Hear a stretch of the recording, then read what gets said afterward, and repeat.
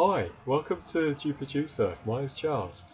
In this video series, I'm going to show you some of the features of Bootstrap 3 that we can use for Drupal projects. So Bootstrap 3 is mobile first. What that means for you is you don't look at the desktop version when you're designing first, look at the how it looks on mobile.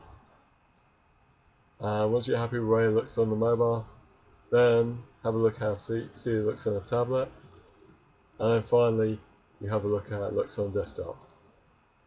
So to make a Bootstrap render mobile correctly, you need to add the following metadata. So first we're going to call it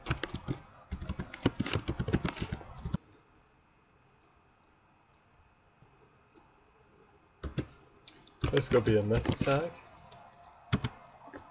name equals view forms, and content equals width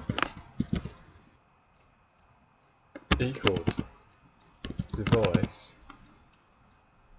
width. There we are, and this will scale equals 1. If you wanted to disable the screen zooming, you'd add these following lines. So inside the content tag, we would add by first of all putting a comma Okay, so then we'd write maximum scale equals 1 and the next line user scale equals no and this will disable the bootstrap zoom feature. Thank you for watching my video. If you found this video helpful, uh, please like my video by clicking the like button here. I'd be most grateful if you do that.